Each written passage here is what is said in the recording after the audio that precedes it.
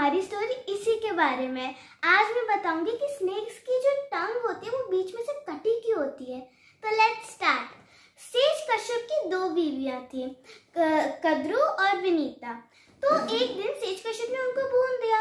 कद्रू ने हज़ार बेटे मांगे जो सर्पेंट्स थे और विनीता ने दो बेटे मांगे जो कद्रू के बेटों से ज़्यादा पावरफुल होंगे। कुछ मेलोड्रामा की वजह से विनीता कद्रू की स्लेव बन गई।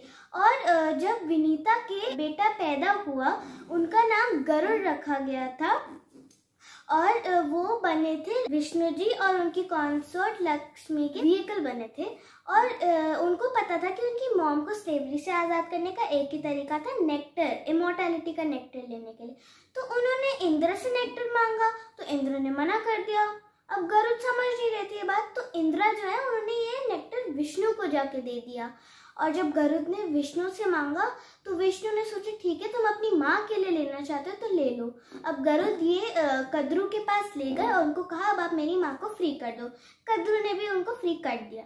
अब इंद्रा को नहीं चाहते थे इंद्रा नहीं चाहते थे कि कद्रू के जो बेटे थे उनको ये मोर्टेलिटी का नेक्टर मिल जाए क्योंकि वो किसी गलत इंसान को भी दे सकती थी। तो वो डिस्काइज विलेजर की तरह आए कद्रू के पास और उन्होंने बोला कि आपके पास इतना ग्रेट नेक्टर पर आपको नहीं लगता आपको अपने बेटों को क्लीन करना चाहिए या फिर उनको बात देना चाहिए? तो कद्रू अपने बेटों को लेके पानी में नहलाने चाहिए चली गई। तो जब वो गए अंदर तो इंदिरा ने नेक्टर को छीन लिया वो जल्दी से भाग गए उसको लेकर मतलब छोटी छोटी ड्रॉप्स जो थी नेक्टर की, वो हेस्टैक पर गिर गई। अब जो सांप जो थोड़े से थे बच्चे, जो कदरू के बेटे थे, वो थोड़े बाहर निकल के और उन्होंने जब देखा कि थोड़ी बूंदे हेस्टैक पर गिर गई। वो हेस्टैक के पास जल्दी गई अब हेस्टैक ड्राई थी और बहुत पॉइंटी थी। तो जैसे उन्होंने अपनी टंग उस पर लगाई, बीच में से कट गई। इस वजह से जो सर्पेंट्स होते हैं, उनकी टंग छोटी सी यहाँ से कटी होती है। तो सिबलिंग राइवलरी का उल्लेख वेद पुराणों में भी किया गया है। कुद्रू और विनीता, जो कि कई जगह कहा जाता है कि आपस में बहनें थी। ऋषि कश्यप की धर्म पत्नियाँ थी। जो उस वरदान में कुछ भी मांग सकती थी, मगर मांगा तो क्या? एक ने मांगा, मेरे हज़ार पुत्र हों, जो कि नाग हुए।